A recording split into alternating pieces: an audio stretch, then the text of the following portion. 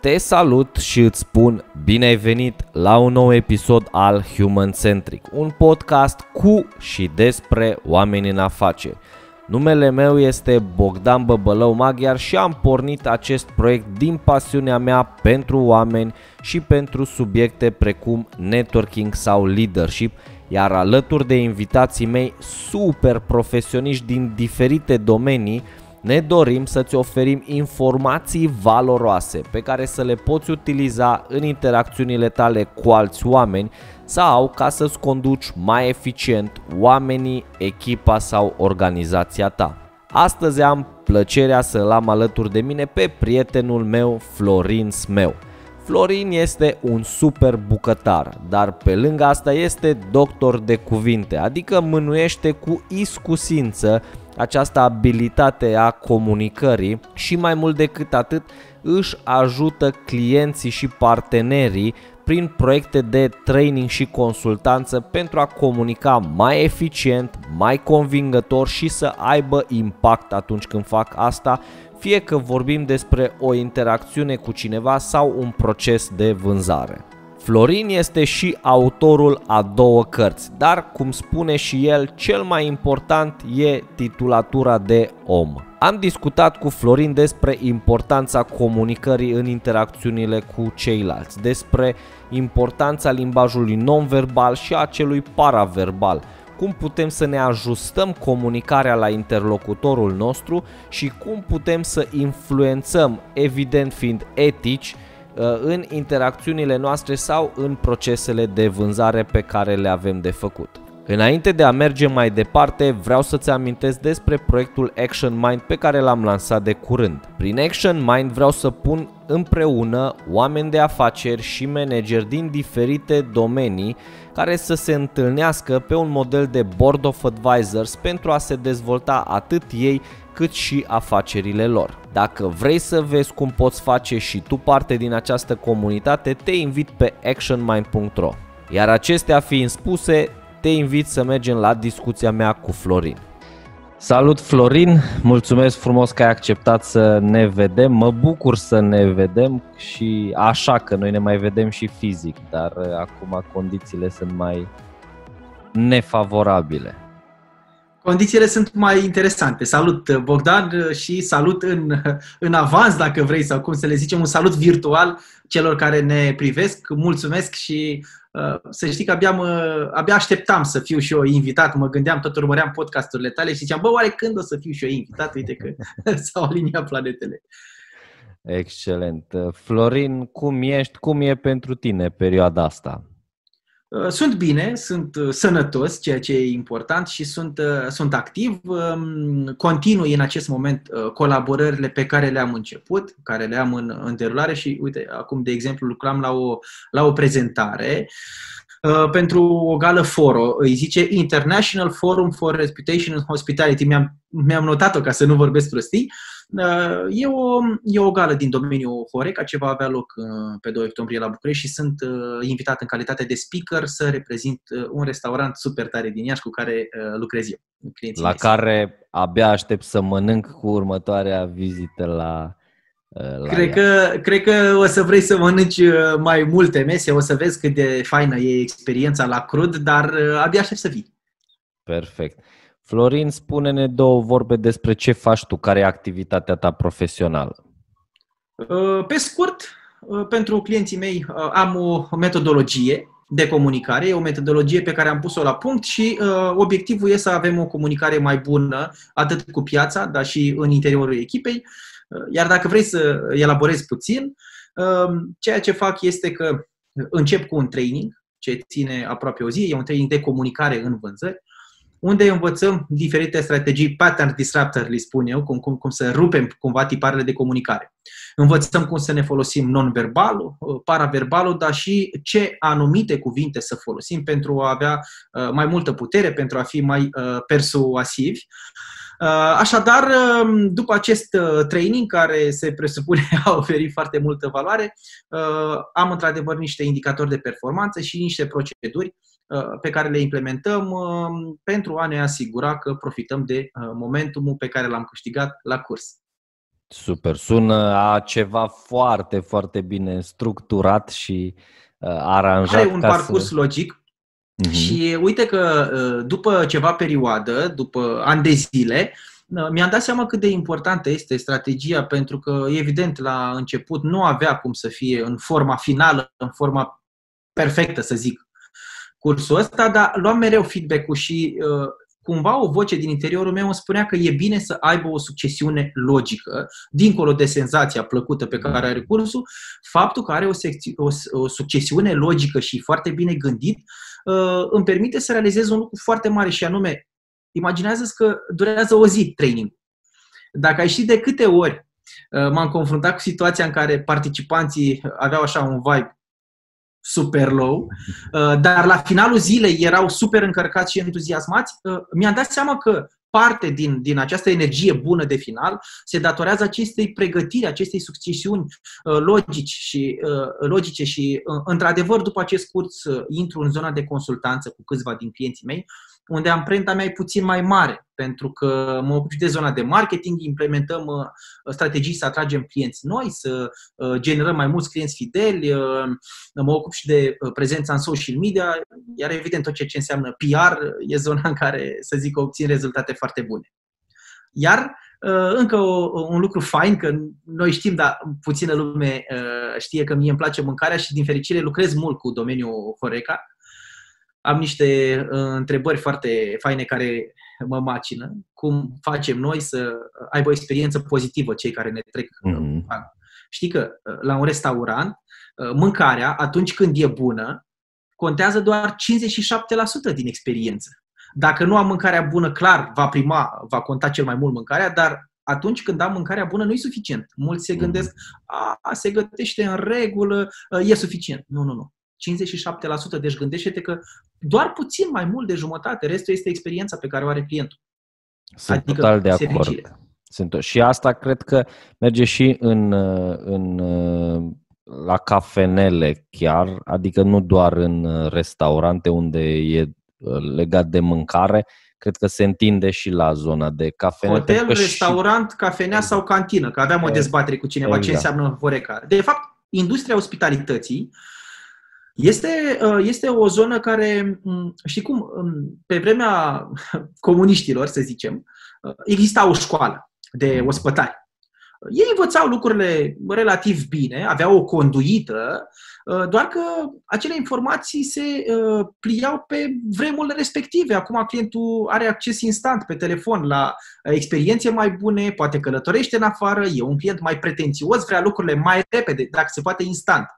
Iar atunci când o dai de gard, că na, se întâmplă să o mai dai de gard, uh, standardele lui sau așteptările uh, sunt uh, mult ridicate și dacă nu reușești uh, să te menții acolo la nivel de performanță, vei pierde. Eu nu vreau doar să mă mențin la nivel de performanță pentru clienții mei, ci vrem să atragem mai mulți clienți fideli, vrem să ne poziționăm ca experți, ca lideri în domeniul de, de activitate, dar o, să, o să-ți povestesc uh, mai încolo mai multe despre acest lucru. Intrăm. Florin, înainte să uh, intrăm în zona asta de uh, discuție pe subiecte concrete, hai să ne zici cine e omul Florin Smeu. Adică Uh, ești prietenul meu, dar pe lângă prietenul meu, cine mai e Florin meu?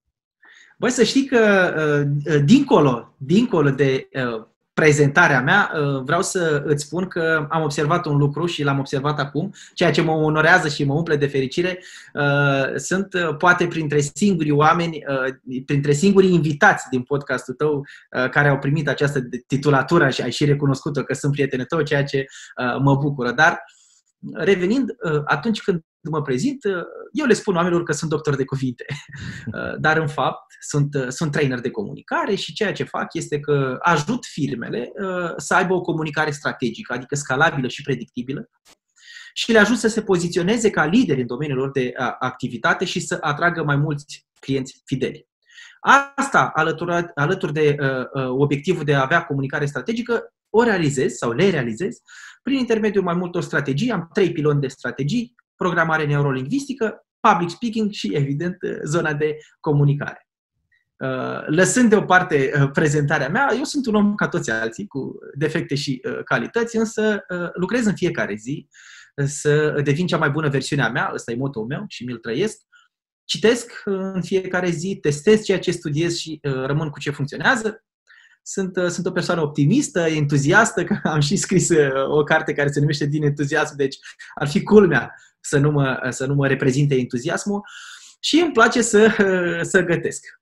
Uh, îmi mai place să, să am niște principii foarte clare care mă, uh, mă definesc, uh, pun preț pe relațiile de calitate, sunt un om loial, devotat și cred că toate lucrurile astea se reunesc într-un punct de convergență și anume moto. meu devin o cea mai bună versiune a ta. Pentru mine viața înseamnă evoluție și cred că ăsta e sensul pentru toți și în Biblie. Creșteți și vă mulțiți, spune, dar cred că se referă și la cu titlul ăsta metaforic, știi?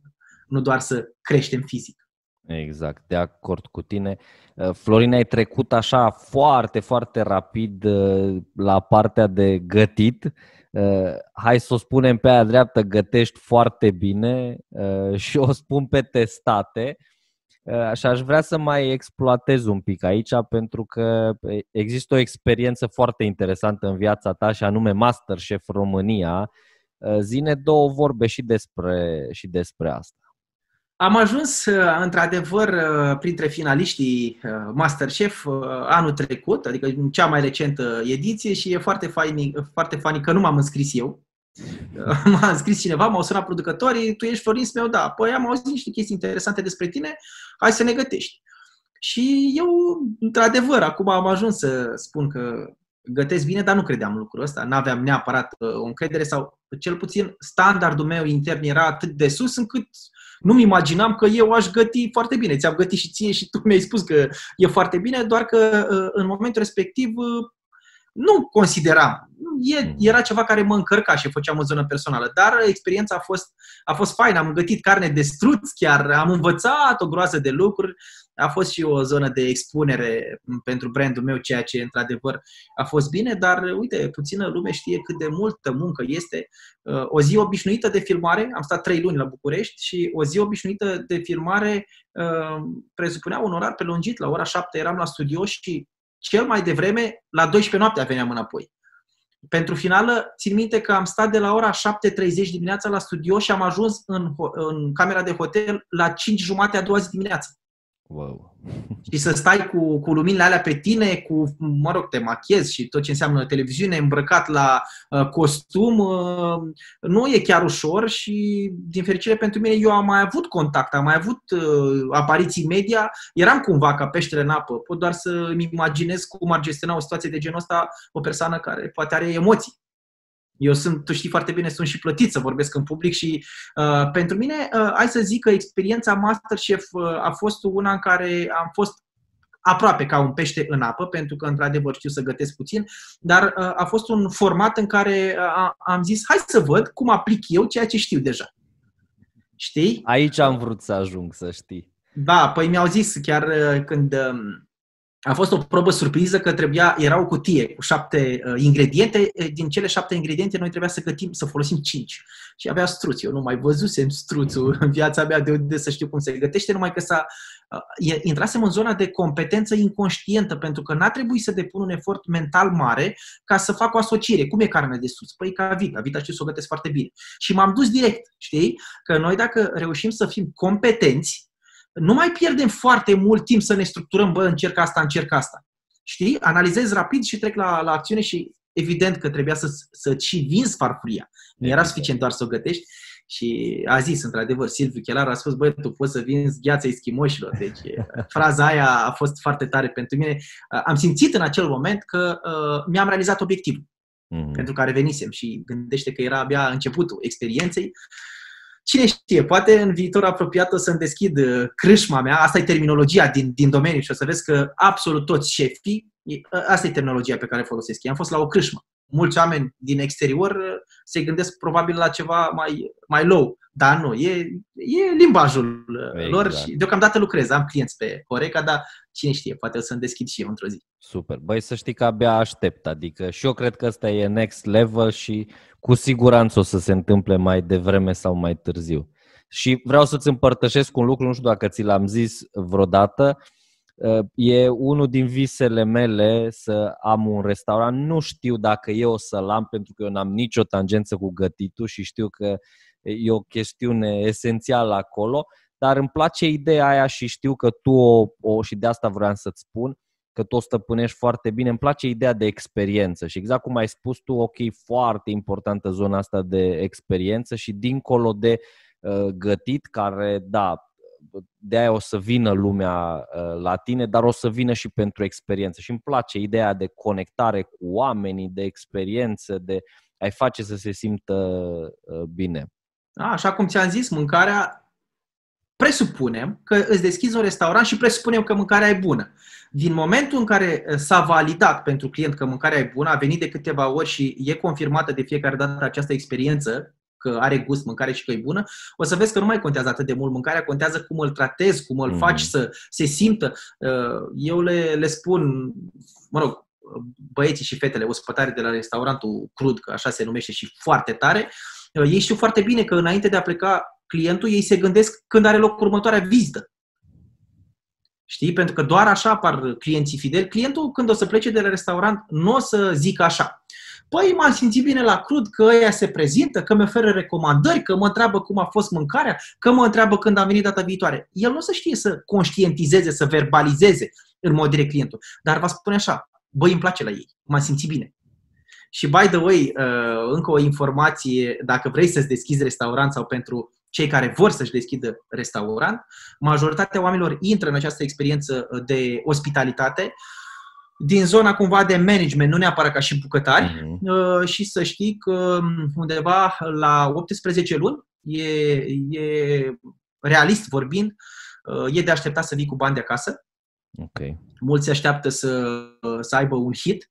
Sunt rare situațiile. Eu vorbesc la drept, zic adevărul neplăcut, dar e important ca oamenii să știe la ce se înhamă. Uh, Uh, ca idee, restaurantul uh, Crud din Iași, aproape 2 ani de zile a fost nevoie să, să vină, să, să susțină din alte surse, din alte business activitatea, pentru că încă e nevoie de timp pentru ca oamenii să se obișnuiască cu un concept și e nevoie de timp până în punctul în care tu poți să fii sustenabil. Lumina trebuie să fie plătită în restaurant, ospătarii trebuie să, să fie plătiți, muzica trebuie să meargă, chiar dacă nu e nimeni în restaurant. Exact. Exact. Știi că vorbim tot despre experiență.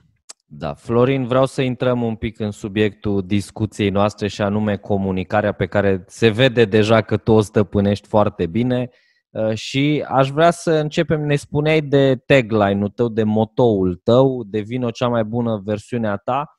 Hai să discutăm un pic și să vedem cum, uh, cum putem să devenim cea mai bună versiune a noastră, cum spuneai tu, în fiecare zi.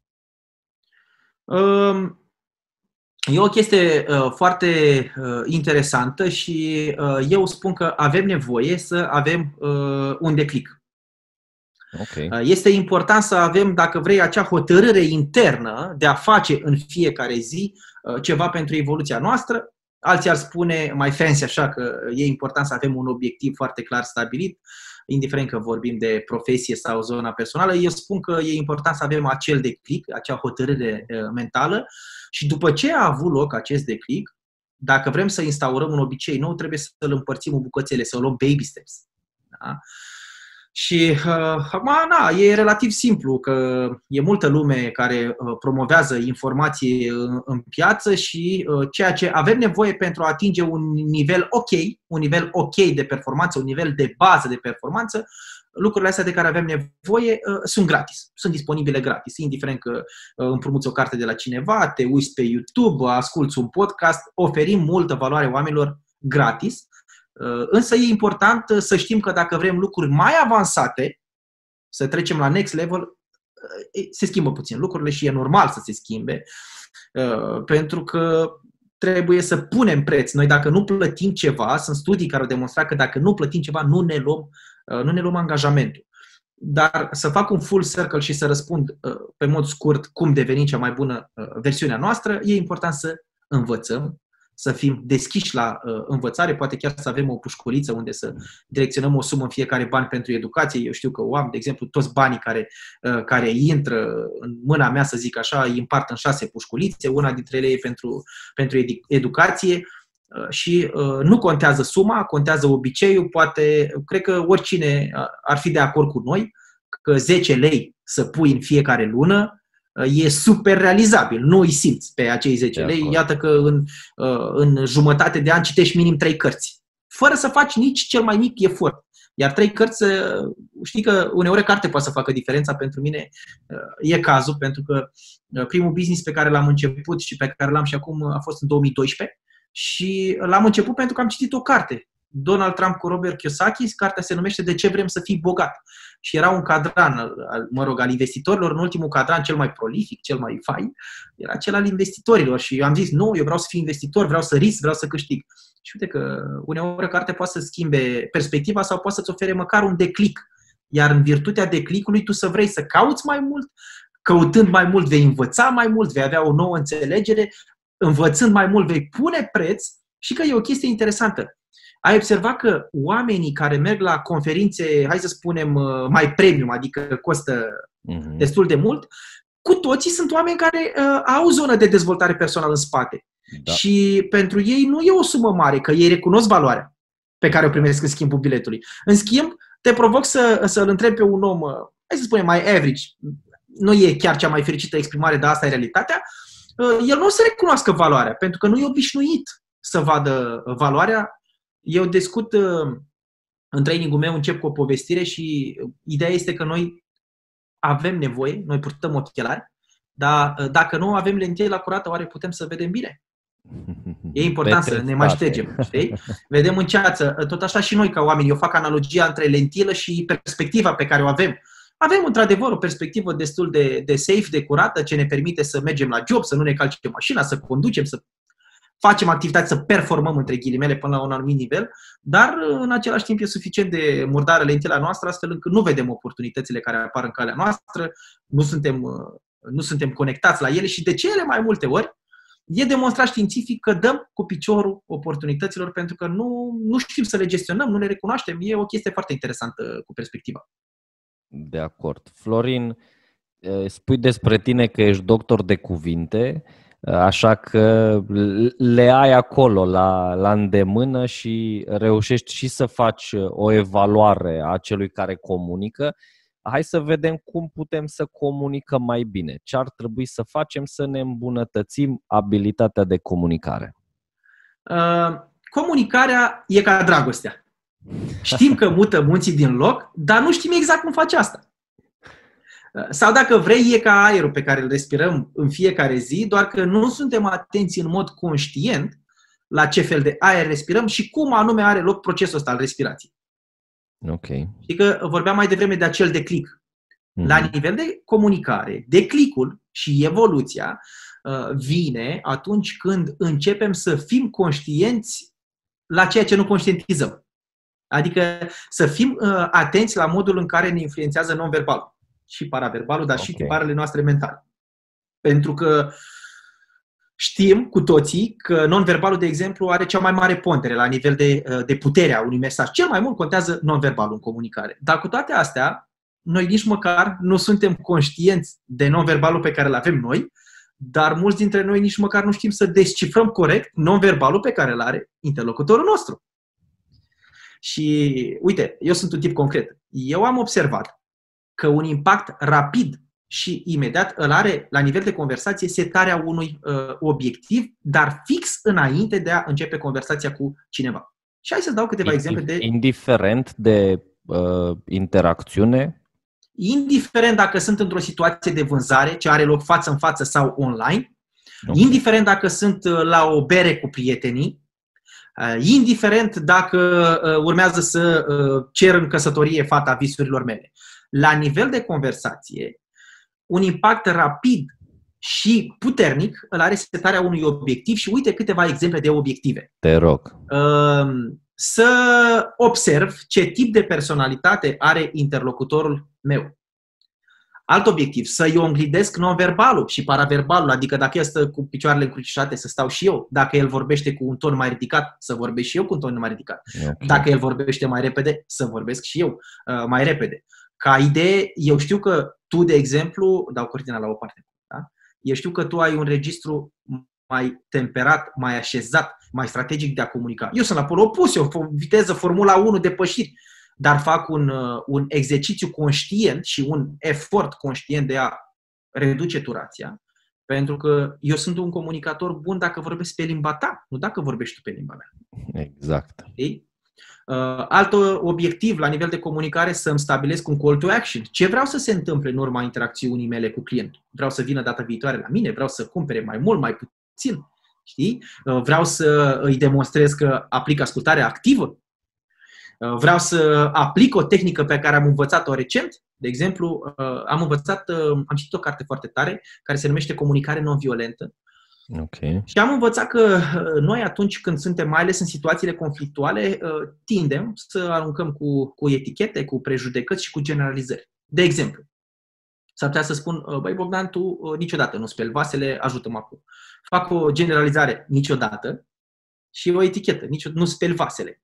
Și a, am observat că e mult mai eficient atunci când exprimăm aceste situații să dăm un feedback ce ține de comportament, să fie punctual și totodată să spun cum mă simt eu când observ comportamentul, iar după ce am spus cum mă simt observând comportamentul, să povestesc despre nevoia mea, iar în cele din urmă să am un call to action. Spre urmare, aș putea să zic, ă, Bogdan, mă bucur că ți-a plăcut această masă și am făcut-o cu drag. Uh, m-aș simți foarte bine dacă ai vrea să contribui și tu la această experiență și să speli vasele. Pentru mine e important să lucrăm împreună. Ce spui? Ai fi de acord să speli mai încolo vasele? Punând-o așa, răspunsul... Știi, vine... cadrezi altfel situația și nu numai că mă simt eu mai bine, dar te simți și tu mai bine. Și atunci e o situație win-win. Uh, prin urmare, sunt multe lucruri pe care uh, putem să le facem la nivel de comunicare, dar dacă ar fi să, să rezum toate lucrurile astea printr-un tagline, ar fi uh, ești un comunicator bun dacă intri tu în barca comunicării a interlocutorului tău și vorbești pe limba lui. Florin, ziceai mai înainte de ascultare și pare așa la o primă vedere de amator că atunci când comunicăm, comunicăm când ascultăm, ascultăm, dar tu spuneai de ascultare activă. Hai să detaliem puțin. Ce, ce înseamnă asta pentru că ai inclus-o în a comunica mai bine? Uh-huh. Mulțumesc că mi-ai dat ocazia să vorbesc despre ascultare și îți mulțumesc deoarece e o zonă cumva trecută cu vederea și acum vreau să aduc puțină lumină. Știm cu toții că e important să ascultăm. De ce? Păi atunci când ascultăm persoana se simte mai importantă interlocutorul, pentru că uh, efectiv îi acordăm atenție și cu toți avem acel ego care ne spune, bă, eu vreau să fiu apreciat și vreau să fiu foarte bine, vreau să am un tratament cât mai bun. Dar este o diferență între ascultarea activă și cea pasivă, iar cea activă presupune ca, într-adevăr, eu să îl ascult, dar să-l ascult pe interlocutorul meu cu intenția de a-l înțelege. Și totodată, cum îi arăt eu că, că practic ascultarea activă? Îl ascult, dar în timp ce el povestește, non-verbalul meu o să se facă. Mm-hmm. Și o să și vorbesc. Da, mi se pare interesant, spune mai multe. Dacă fac aceste lucruri, interlocutorul meu va fi în rai. Se va simți minunat pentru că o să vadă că eu aplic ascultare activă. Versus. Vezi că instinctiv, când am intrat mental în zona de ascultare pasivă, nici măcar nu am mai făcut contact vizual cu tine. Exact. Cei mai mulți dintre noi așa facem. Și uh, totodată, uh, deci e fain, ascultarea activă e bună la nivel de comunicare pentru interlocutor, că se simte important și uh, e bine și pentru tine. De ce? Că tu ai timp fizic să-ți pui ordine în gânduri, că vorbește el. Lumina reflectorului e pe el, dar totodată, vorbind interlocutorul tău, îți oferă ție șansa să afle mai multe lucruri despre el, despre businessul lui, despre context, despre situație, despre produsul, nevoia lui. Și aflând aceste lucruri, tu practic uh, acumulezi arsenal, muniție, pe care apoi uh, o folosești. Uh, astfel încât e, avem de câștigat dacă ascultăm de două ori mai mult decât vorbim. Avem două urechi și o vorbă și o gură. Nu trebuie să fim reduși la tăcere, dar, ca regulă generală, e bine să folosim întrebări. Am câțiva clienți de coaching cu care am făcut un exercițiu ce pare simplu, dar îți promit că e greu tare, și anume să, uh, uite, cu uh, o tipă, Ana Maria, manager la SAB, care am avut ocazia să lucrez cu ei, uh, am reușit o zi întreagă să comunicăm doar prin întrebări. nu aveam voie să fac nicio afirmație, iar ea nu avea, nevo- nu avea voie să facă nicio afirmație. Eu îi adresăm întrebări, ea mi adresa întrebări. E un exercițiu foarte bun pentru că uh, te pune mental în viitor. Tu, nu, nu, nu doar că te gândești la o întrebare, ci te gândești la o întrebare care să preceadă uh, întrebarea pe care ți-o întoarce. Okay. E game changer, dar dacă reușești nu o zi, dacă reușești măcar o oră, e atât de puternic exercițiul ăsta să comunici doar prin întrebări, o să vezi că uh, la nivel, uh, hai să spunem, de subconștient, chiar dacă nu cunoști niște tehnici de comunicare, o să facă niște declicuri în tine și o să te forțeze uh, destul de mult. E, e foarte puternic. Super. Cred, cred că mi-ar fi destul de greu să încerc, dar uh, promit că dacă îmi găsesc partenerul potrivit o să dau o șansă la, la partea asta. Florin, știi ce îmi place foarte mult? E că îmi ridici mingea la fileu cu o grămadă de subiecte, așa că spuneai un lucru foarte, foarte interesant, adică să ascultăm cu intenția de a înțelege. Și Uh, de obicei un impediment în zona de comunicare e că lumea ascultă, dar de fapt în timp ce ascultă se gândește la ce să spună uh, mai deștept ulterior încât să impresioneze. Uh, cum putem să ascultăm ca să înțelegem fără să ne gândim la ceea ce ar trebui să spunem noi mai să părem mai inteligenți ulterior? Eu zâmbesc pentru că fix așa eram eu. Țin minte că prin 2012-2013, când am intrat în business, am, am luat puțin uh, involuntar uh, contact cu zona de dezvoltare, că na, aveam un business și chiar dacă nu simțeam că trebuie să evoluez, simțeam că trebuie să ies în piață să mă cunoască cât mai multă lume și țin minte că era business days. Și țin minte că ridicam mâna să intervin, dar ridica mâna doar ca să mă dau eu deștept, știi? Și când vorbeau aia, eu mă gândeam, hmm, oare cum aș răspunde la întrebarea asta?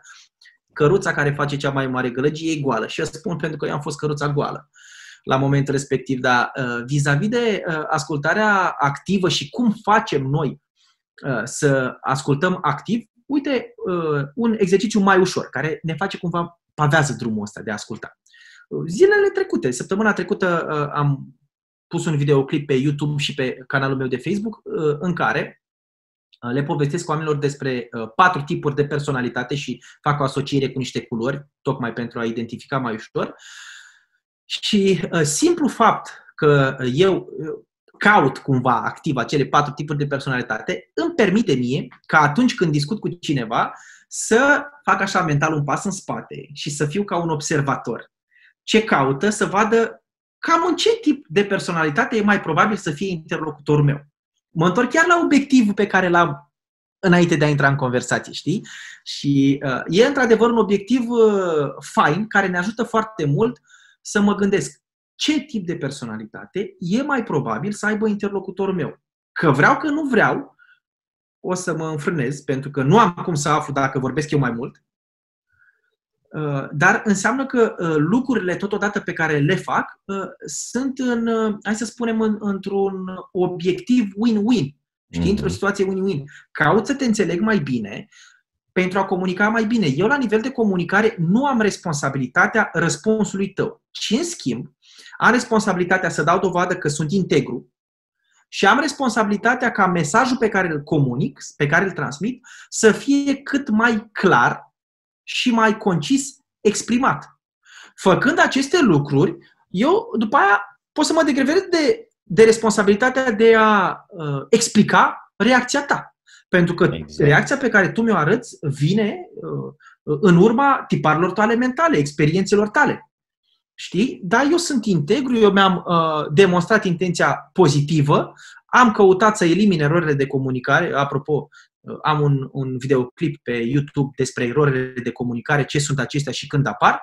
Și după ce am făcut aceste demersuri de a asculta activ, de a demonstra o intenție clară, de a fi integru, uh, de a demonstra o intenție pozitivă și de a elimina aceste erori de uh, comunicare, mie vine relativ ușor să fac mental un pas în spate, să pun lumina reflectoarelor pe tine. Cum pot face asta? Ades, sunt câteva întrebări simple. Ce părere ai despre asta? Cum ai ajuns să faci acest lucru? Dacă ai fi în locul meu, cum ai face? Ce crezi că se va întâmpla bun în urma inițiativei tale? Pot să te ajut cu ceva? Asta este o întrebare de echipă pe care o implementez cu toți partenerii mei. Am făcut ca un fel de regulă nescrisă, în fiecare zi, fiecare din firmă trebuie să adreseze această întrebare. Cum te pot ajuta astăzi? Știi că atunci când primești această întrebare, știi ce te gândești? Bă, cineva vrea să mă ajute. Nu mai sunt singur exact. în această uh, luptă. Deci, făcând un pas mental în spate, căutând să analizez ce tip de personalitate este inter, inter, interlocutorul meu și adresând aceste uh, întrebări care să arate că sunt ascultător activ, uh, uh, mă ajută să fiu un comunicator mai bun. Super. Ai, din nou mi-ai ridicat uh, mingea la fileu să fiu un comunicator mai bun. Uh, Cred că o, o componentă foarte interesantă în comunicare e ideea de persoasiune. Adică cu toții ne dorim să uh, fim persuasivi, să reușim să convingem, pentru că până la urmă ne exprimăm niște idei și concepte, dar ne dorim ca ele să aibă impact. Cum putem să devenim comunicatori mai buni? Cum putem să, să influențăm într-un mod foarte etic uh, vorbind pe cei cu care comunicăm? Uh, uh, mă gândeam acum la, la o secvență foarte interesantă ce ține de comunicare și uh, zice așa secvența. Cuvintele pe care le avem în vocabular creează gândurile noastre. Gândurile creează sentimente. Sentimentele creează niște acțiuni, iar acțiunile creează comportamente. Deci, pe scurt, cuvintele pe care le avem în vocabular creează comportamente. E mare lucru și uh, nu e un exercițiu atât de ușor să fim atenți la ce cuvinte folosim în fiecare zi. Pentru că, uite, hai să luăm câteva exemple. Inginerii sau medicii folosesc ei foarte des în exprimarea lor uh, terminologie de specialitate? În fiecare zi. Au medicii și inginerii, uh, dacă vrei, această etichetă că sunt oameni școliți, mai deștepți? Da. În această uh, virtute a, a, de etichetă, uh, putem să spunem că ar fi corect uh, sau uh, e un fapt adevărat că ei au cumva, poate un drum mai lin, obțin niște lucruri mai ușor pentru că sunt percepuți ca uh, niște uh, persoane mai evoluate, să zicem, între ghilimele? Evident, evident. Uh, și atunci, într-adevăr, cuvintele pe care le folosim noi uh, generează niște gânduri, că dacă folosesc mereu cuvinte pozitive, o să mă gândesc pozitiv. Iar gândurile pe care le am în, în permanență generează niște sentimente, mă voi simți într-un anume fel.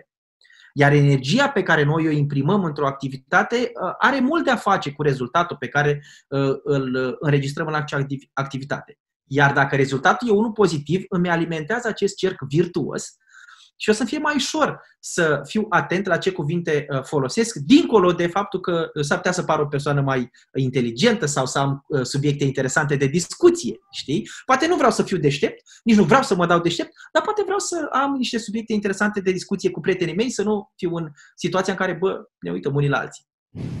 Uh, și uite un exercițiu foarte simplu. Uh, scrie pe o foaie de hârtie sau un telefon cinci cuvinte de impact sau cuvinte care îți plac pe care să le folosești în fiecare zi și treci la acțiune. Aplică-le, asigură, uite, un obiectiv zilnic. Asigură că te, asigură-te că în fiecare zi aceste cinci cuvinte pe care le scrii, le folosești. Tu decizi când, tu decizi cum, dar vrei să le folosești.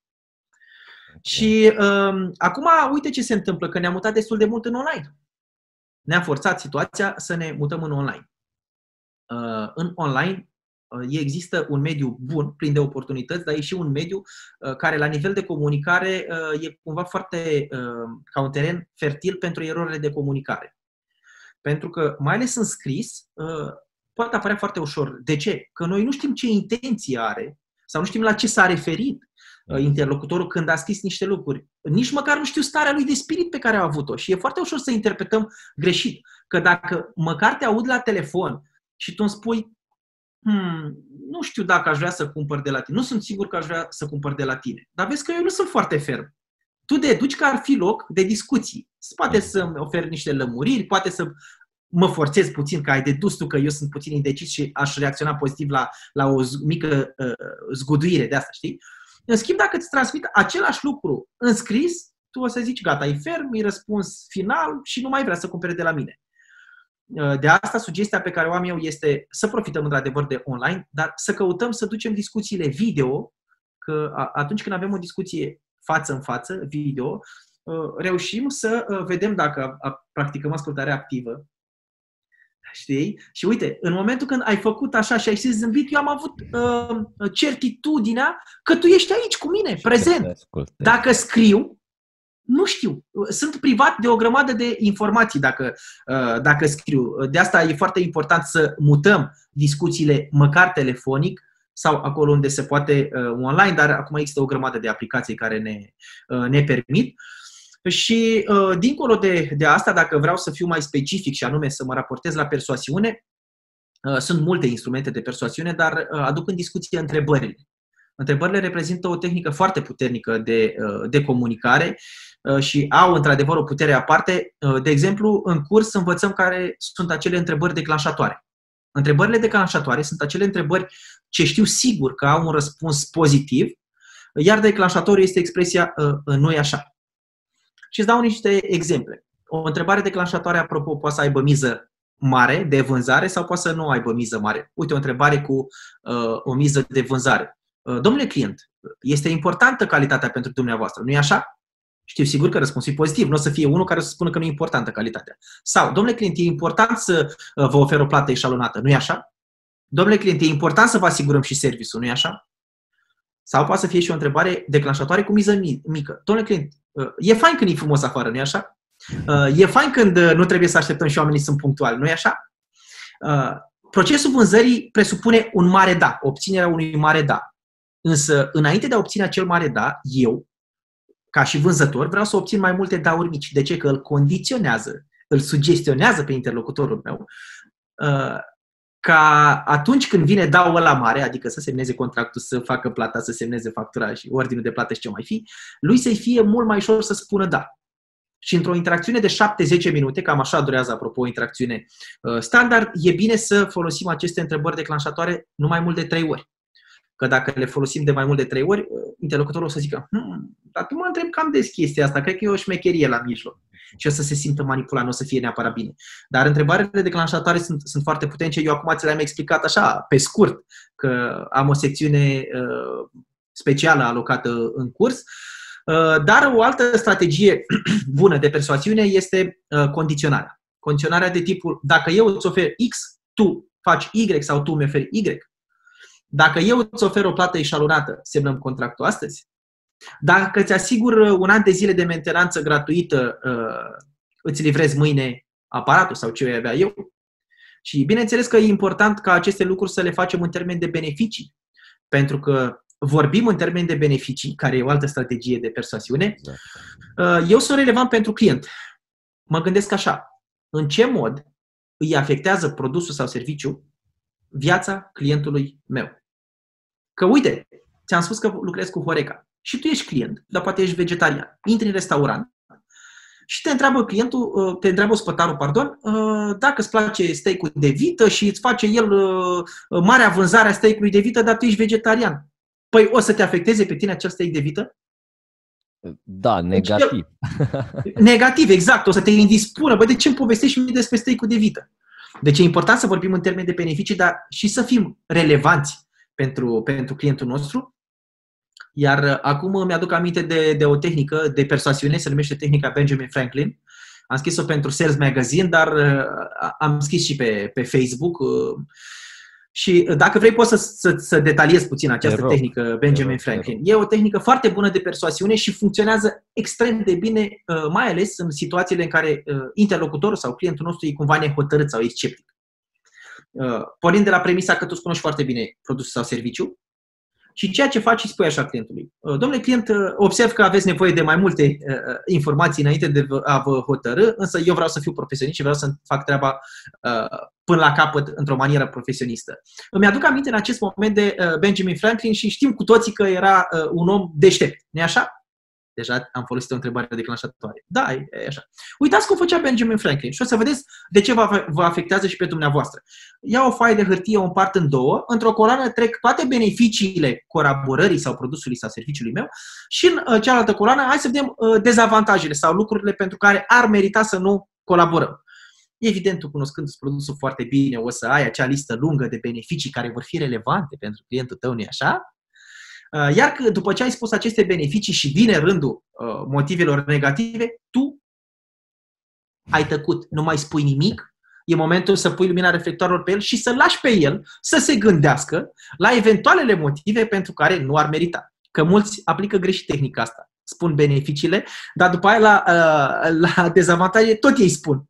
Că ei se gândesc că au cumva un control fals. Lasă că aleg eu doar alea trei dezavantaje și doar pe alea. Dar clientul nu-i fraier. Clientul o să vadă, el știe, are mentalitatea deja ce funcționează, știi? Și atunci e bine să-i dăm putere lui. Și lasă-l pe el să se chinuie să, gătească, să găsească dezavantajele. După ce el a făcut asta, uh, în mod normal ar trebui ca lista cu avantaje să fie mult mai lungă decât cea uh, cu dezavantaje și apoi să-i spui, păi, uitați ce făcea Benjamin Franklin, vedea ce cântărește mai greu, iar în cazul nostru răspunsul e evident, nu e așa? Iată a doua întrebare declanșatoare. Și uh, sunt șanse ca el să semneze pe loc sau dacă nu, în cel mai rău caz pentru tine, tot îi vei da de gândit, tot îi vei arăta că tu ești profesionist. Discutam Anul trecut discutam cu un hotel foarte mare din Iași, eram în, în, în proces de a ne cunoaște și uh, la un moment dat uh, managera respectivă îmi spune, bă, știi ceva? Nu, nu vreau să lucrăm. Și se aștepta cumva ca eu să capitulez. Ok, ne-am făcut poezia și am plecat. Am închis într-adevăr mapa de prezentare ca să vadă că nu mai pun nicio presiune, nu vreau să insist cu nimic. În schimb, mi-a spus, ok, înțeleg poziția ta, uh, însă am avut o comunicare foarte bună și m-ar ajuta foarte mult dacă mi-ai spune din ce cauză uh, ai vrea să uh, oprim colaborarea aici.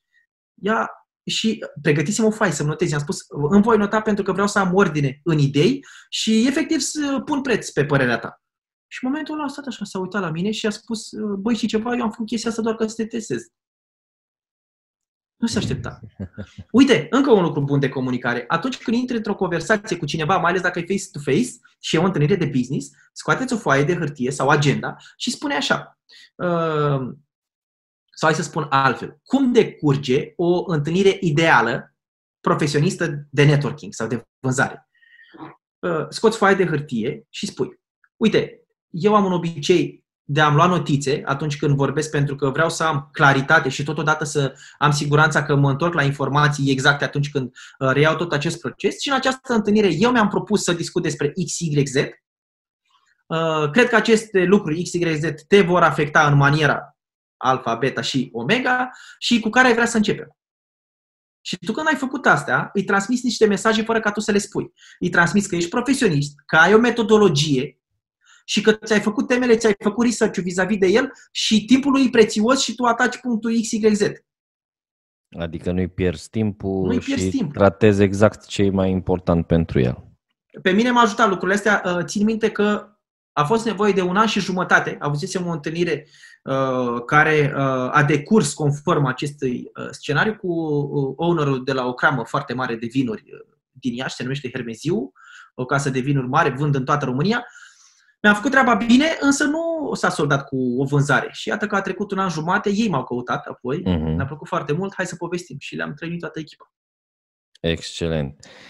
Florin, mai ziceai în uh, răspunsurile tale la întrebările mele de faptul că, ok, comunicarea e verbală, e paraverbală și non-verbală. Hai să atingem un pic și Uh, celelalte două aspecte, respectiv zona de non-verbal și uh, paraverbal. Poate okay. ne și, ok, la non-verbal suntem destul de familiarizați, uh, dar poate ne dai și, nu neapărat o definiție, dar să ne spui exact la ce se referă.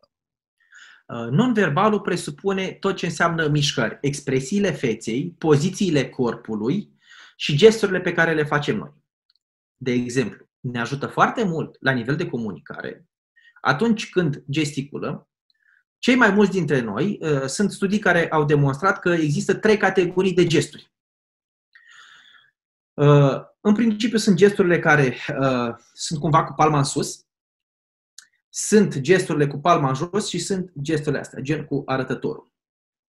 Uh, și atunci când avem gesturi de uh, astea, de maniera asta, uh, noi îi transmitem un mesaj clientului nostru, sau mă rog, eu spun clientului nostru că suntem mereu într-un proces de vânzare, ne vindem ideile, produsele, imagine și așa mai departe. Îi transmitem clientului nostru un mesaj și anume că el trebuie să facă, cum zic eu, fără să aibă măcar o alternativă. puțin mai bine e când gesticulez cu palma în jos, pentru că îi zic, ar fi bine să faci cum spun eu. Tu ai avea ceva alternative, dar eu îți comand cumva că gestul ăsta e asociat cu rigiditate, cu autoritate. Control, cu autoritate, exact. Uh, și atunci când gesticulez cu palma în sus, nu înseamnă că eu trebuie să stau așa când vorbesc cu clientul meu, ci vederea periferică funcționează și noi facem așa, uh, îi transmit solicitudine, deschidere, transparență, ajutor, sunt o persoană concentrată pe lucrurile bune. Ceea ce e mai interesant că atunci când avem gesturile de autoritate și de impunere, clientul nostru reține cu 57% mai puțin. Imaginează dacă activez într-un domeniu tehnic. Sau poate beneficiul pe care vreau să-l transmit eu, ă, aș vrea să fie mai bine punctat, să fie mai persuasiv. Păi, are sens să uzitez această tehnică care știu că îmi permite cu 57% mai mult să rețină? Bineînțeles. Mai ales dacă el nu mă cunoaște. Păi nu vreau să vin eu să-i comand. Deci gesturile noastre contează foarte mult, mai mult decât atât ă, aduc în discuție principiul oglindirii, adică nu înseamnă nimic altceva, altceva decât să să uh, fac ceea ce face interlocutorul meu și dacă el stă cu mâinile așa, nu înseamnă că trebuie să stau și eu musai așa. Pot să stau mai lejer sau dacă stă cu picioarele încrucișate, nu, nu, nu trebuie să stau în aceeași poziție, dar pot să stau în aceeași manieră. De ce? El, în virtutea vederii periferice, va avea senzația că stă de vorbă cu o persoană la fel ca el sau ca ea. Și din acest spațiu mental noi ne relaxăm puțin, coborâm barierele mentale și uh, suntem mult mai deschiși la, uh, la dialog. Iar în ceea ce privește paraverbalul, uh, aduc în discuție vocea noastră, care e foarte importantă.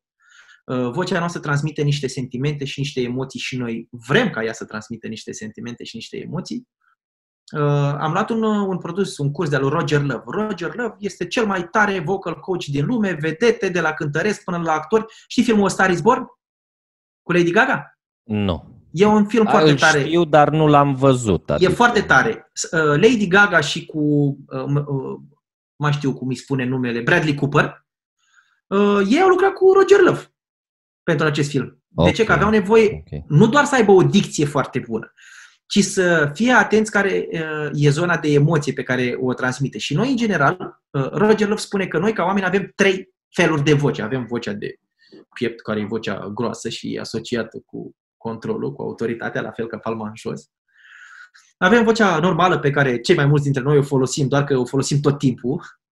Uh, și mai avem și vocea de cap, care e vocea asta prietenoasă. Cei care lucrează cu copii știu foarte bine la ce mă refer. Ideea este că nu trebuie să fim niște măscărici atunci când uh, uh, interacționăm cu clientul nostru, dar uh, face sens că atunci când interacționăm cu o persoană care e mai închisă, mai încorsetată, mai negativă, mai puțin receptivă, să spunem câteva cuvinte. Domnule client, eu încerc să-mi fac datoria. Uite, o situație concretă, ai de-a face cu uh, un client care e foarte sceptic, e gică contra, e mai mult decât sceptic, e puțin pus pe, pe harță și se întâmplă ca tu să vrei să-l ajuți sau ai greșit cu ceva. Atât îi spui. Domnule client, eu doar încerc să-mi fac datoria. O să vezi că nu o să mai aibă ce să zică. Știi? Și e important să... Uh, vocea noastră e ca o, o claviatură de la pian și dacă ne folosim doar vocea normală pe care o avem, uh, dând la o parte vocea de corp și vocea de cap, e ca și cum aș folosi doar câteva clape, doar câteva note de la pian. Eu vreau să le folosesc pe toate și, uh, într-adevăr, eu în, în, în curs fac analogia cu Word, cu Microsoft Word, pentru că toți îl folosim. Okay, da, Ce înseamnă exact. diferite? Trebuie să ne jucăm cu ritmul vocii, cu tonalitatea, cu intensitatea, cu anumite cuvinte. Păi cât de important e să știu cum să punctez cuvintele. Ce o să ți se pară mai mult? 10.000 de euro sau 5 milioane de euro? Și gândește-te că eu am o listă foarte specifică cu beneficiile pe care le are produsul sau serviciul meu. Păi nu are sens să le punctez la nivel de paraverbal? Și, domnule, ai livrarea gratuită. Chiar dacă e o chestie basic. Știi? Domnule, ai rate la dezvoltator când cumperi un apartament. Impactul ah, e cu totul și cu totul altul. Impactul e mult mai mare. Asta pe lângă cuvintele pe care, într-adevăr, e bine să folosim acele uh, cuvinte potrivite, că, într-adevăr, cuvintele uh, generează și cadrează contextul. Despre asta e vorba. Comunicarea se reportează la context mai mult decât orice. Florin, înțeleg importanța comunicării și tu ai reușit să o subliniezi foarte, foarte bine, adică ne-ai punctat fiecare element, dar uh, pe lângă partea asta de comunicare avem un întreg context și cred că acel context e foarte important pentru că și el are un impact și aș vrea să știu cum reușim să gestionăm contextul în așa fel încât uh, uh, să, să fie în favoarea noastră și să avem o comunicare bună. Într-adevăr, contextul e foarte important pentru că el este cel care uh, setează, cadrează, dacă vrei, uh, situația. De exemplu, dacă sunt într-o situație de vânzare, uh, eu știu că persoana cu care discut, clientul meu, uh, va fi mult mai probabil să cumpere dacă este într-o stare mentală de unde este dispus să mă asculte. Prin urmare, cum creezi contextul? Nu vreau să-ți văd nimic de la început. Vreau doar să mă cunoști. Vreau să te cunosc. Vreau să-ți demonstrez, nu să-ți arăt, să-ți demonstrez de ce sunt un profesionist. Știu că făcând aceste lucruri o să creez mediul, contextul, uh, de unde tu ești dispus să mă ascult și poate să stârnesc interesul și să mă cunoști mai bine.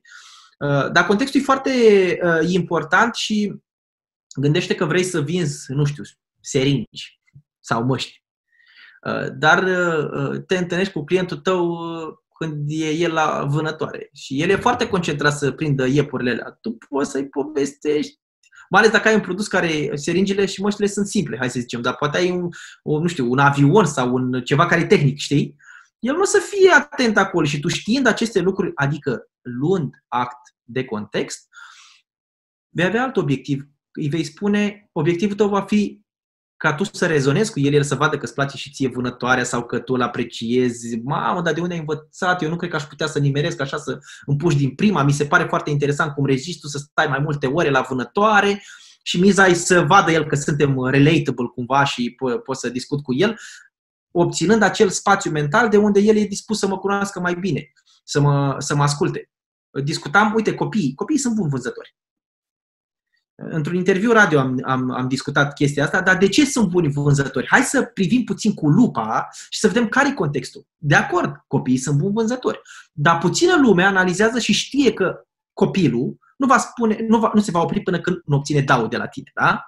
Uh-huh. Dar el face aceste lucruri pentru că nu-și dă seama, dar în virtutea relației pe care o ai tu cu copilul, că e copilul tău sau un grad de rudenie sau chiar dacă nu-l cunoști, în virtutea relației de drăgălășenie pe care o ai tu față de copil, el își permite să facă aceste lucruri. Exact. Și atunci ar fi bine pentru noi să uh, încercăm să vindem sau să punem puțină presiune pe interlocutorul nostru abia când am stabilit această conexiune, această relație. Eu dacă nu am relația, pot să încerc să vând, dar o să-mi scadă mult șansele. În schimb, după ce am stabilit această relație, pot să fac uz de ceea ce fac și copiii, și anume de insistență și uh, totodată de zona asta, de non-verbal și paraverbal.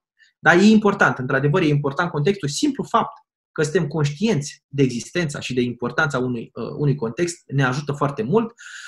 Și, din fericire pentru noi, așa cum ți-am zis, uh, um, zona de comunicare acoperă multe, multe lucruri, dar sunt multe surse de, de informare. De exemplu, Uh, o să aduc în discuție grupul uh, privat de Facebook care se numește Academia de Cuvinte pe care eu îl moderez, uh, videoclipurile de pe YouTube și de pe social media. Aceste lucruri sunt, unele dintre ele, eu zic că chiar valorează bani grei, nu numai zona de informație gratis, pentru că, uite, un lucru pe care puțină lume știe și eu nu mă fie să spun. De ce noi, în domeniul în care activăm, vrem să oferim informație, să oferim valoare. Sigur, ne și place să oferim valoare, dar în cele din urmă noi suntem într-un business. Exact. Și obiectivul unui business este să fie sustenabil, să facem și bani. La nivel de comunicare, una dintre metodele pentru a te poziționa ca expert este să oferi din informație. Evident. Și sigur, oferi din informație numai că nu ai cum și nici nu e normal să oferi toată informația pe care o ai tu. Oferi acele lucruri pe care îl uh, știi că îl ajută pe clientul tău să dobândească un nou nivel.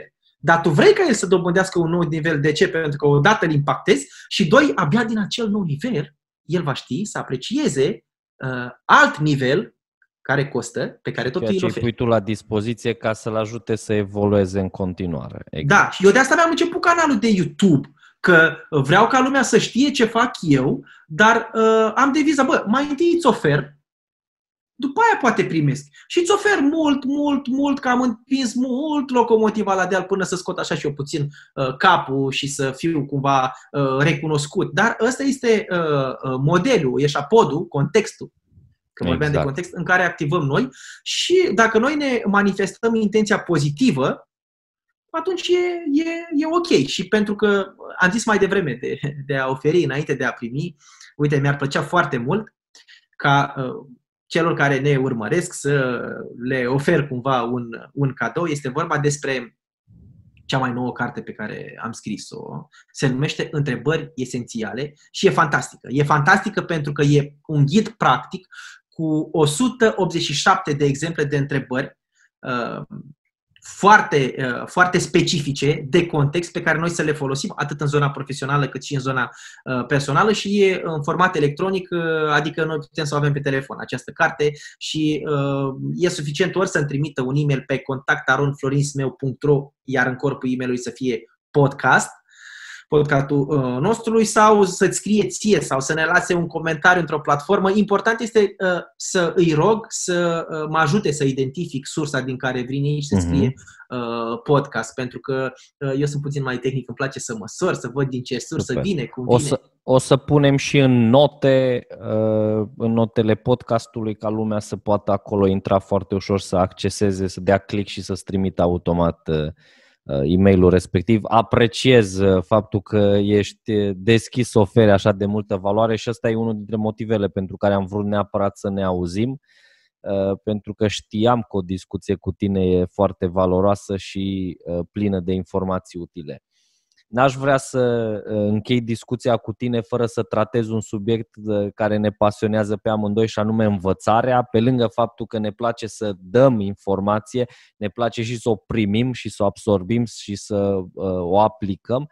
Știu că ești un, un om care investește mult în dezvoltarea lui, ne spunești de cursul pe care l-ai, l-ai achiziționat de curând. Spune-ne cum și de unde înveți tu și după aia poate ne faci niște recomandări o carte, uh-huh. un curs, o persoană pe care să o urmărim? Sigur. Uh, eu, într-adevăr, pun, pun accent pe zona asta de, de dezvoltare, de evoluție, de învățare. Mi-am, mi-am stabilit cumva o fel de rutină de dimineață. Eu când mă trezesc mă oară, hrănesc mintea, citesc jumătate de oră, apoi hrănesc spiritul, fac undeva la 5 minute de, de meditație, practic recunoștința și apoi uh, îmi încep ziua. Și uh, eu uh, îl studiez mult pe uh, Tom Hopkins, îmi place foarte mult, e uh, în zona de vânzări, a scris o carte care îmi place mult, se numește Cartea Vânzării, e groasă, dar e foarte faină, mie mi se pare, na, dacă sunt comunicare a fost așa, am devorat-o, am savurat-o, dar um, uite, hai să recomand câteva cărți la nivel de comunicare care sunt foarte bune și totodată nu sunt neapărat greu de parcurs și zic um, Uh, cuvinte care schimbă minți, nu mai rețin autorii, dar se găsește pe Google la o, căr- la o, o căutare. O să le punem și pe astea tot în note mm-hmm. să fie foarte accesibil oamenilor. Cuvinte care schimbă minți, carte despre vânzări a lui Tom Hopkins, uh, uh, comunicarea non-violentă. Mi-a plăcut enorm de mult pentru că aduce în comunicare și zona de dorințe și de nevoi pe care noi o, o omitem, adică să comunicăm în acest registru comportament, nu, nu tipar, comportament, Uh, nevoie uh, și uh, zona asta de call to action, dacă vrei. Da? Ce observ la tine, cum mă face să mă simt, ceea ce am eu nevoie și în cele din urmă care e call to action, e foarte bună. Și acum, nu că vreau să sune a, a vânzare, dar ceea ce am constatat eu e că avem nevoie de mindset-ul potrivit pentru a accelera, pentru a potența zona asta de learning și, într-adevăr, cartea mea din entuziasm e prima prima carte pe care am scris-o și e o carte la care am lucrat un an de zile. E un proiect de anvergură și uh, am alocat mult focus, am fost atent inclusiv la dimensiunea caracterelor, pentru că am vrut să fie o lectură ușoară și am făcut fontul puțin mai mare ca să simtă omul că e ușor de parcurs, că e fain. Și, și acolo mai vine încă un bonus. E vorba de un audiobook care se numește 23 de ziduri între noi și, și succes. Uh, și e o carte bună, dar de această dată e o carte bună de mindset că nimic măreț, cum spunea uh, Emerson, nimic măreț nu a fost realizat vreodată fără entuziasm și uh, tu știi foarte bine uh, că atitudinea determină altitudinea. Eu personal îți spun că am vândut de multe ori fără să am cunoștințe tehnice, dar atitudinea pe care o aveam, entuziasmul de care dădeam dovadă, m-a ajutat să vând. Și pentru că Transmite oamenii fac foarte ușor. încredere. Exact, transmite încredere. Uh, e, e foarte ușor să fii entuziasmat de ceva în care crezi. Exact. Când, când mi-a spus uh, Silviu Chelar la Masterchef că tu poți să vinzi gheața eschimoșilor, i-am spus eu nu pot să vând ceva în care nu cred. Dacă e ceva în care cred, da, îl vând, vând, chiar aici zice că mă pricep, știi? Dar trebuie să fie ceva în care cred. Pentru că după ce am bifat acel ceva în care cred, după ce am bifat acest 57% de e bună mâncarea, abia de acolo intră în, în acțiune uh, tehnicile, strategiile pe care, uh, și astea uh, uneori s-ar putea să le aplic și să dau greș, dar eu sunt atent, iau feedback-ul interlocutorului meu și le perfecționez. Deci, important nu e neapărat de unde să educă lumea. Acum nouă ne-ar plăcea să, să se educe de la noi, să fim noi sursa principală de, de, de inspirație, să zic, dar important este să se educe, pentru că în cele din urmă o să ajungă și la noi. Clar. Florin, aș vrea să încheiem discuția noastră așa cu un mic regret, pentru că mi-ar place să mai vorbim și uh, sunt anumite lucruri pe care încă nu le-am exploatat, dar e numai bine că lăsăm subiecte pentru o nouă discuție. Ehm, dar aș vrea să concluzionăm și aș vrea să-i lăsăm pe cei care ne urmăresc și sau ne ascultă cu o idee și aș vrea să concluzionezi tu și să alegi tu ideea cu care să rămână ei. Ok, ideea e foarte simplă și ideea spune cam așa. Comunicarea e ca dragostea.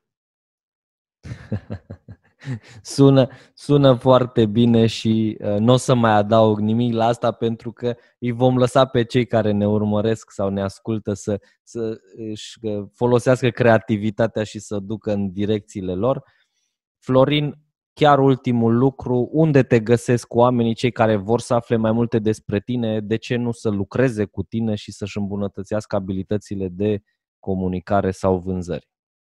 Uh, cei care simt că au rezonat cu mine și uh, le-a plăcut de mine dintr-un motiv sau altul, uh, mă găsesc evident pe LinkedIn, Florin Smeu, pe Facebook, atât pe pagina privată cât și pe cea de, de business, pe YouTube, pe Instagram, iar cei care ar vrea să afle cum cum îi pot ajuta din punct de vedere al comunicării, îi rog să-mi trimită un e-mail la contact florinsmeu.ro și eu o să, le, uh, o să le trimit un PDF foarte fain cu o scurtă prezentare a cursului, care e input-ul, care e output-ul, mai multe detalii uh, foarte faine. Și o, o fac cu mare drag în măsura în care uh, nu promit că răspund instant pentru că uh, sunt destul de ocupat, dar uh, le promit că le răspund.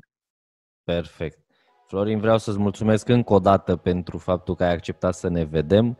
Uh, și să oferim valoare împreună. Apreciez și uh, îți mulțumesc. Plăcerea a fost de partea mea și uh, realitatea e că tu mi-ai ridicat mingea la fileu și mi-ai făcut, hai să spun așa, prestația sau munca mea mult mai plăcută și mai ușoară. Mulțumesc, Florin, a fost o plăcere. Sper că ți-a plăcut acest episod și că ai luat informații utile din el care să te ajute să-ți îmbunătățești abilitățile de comunicare.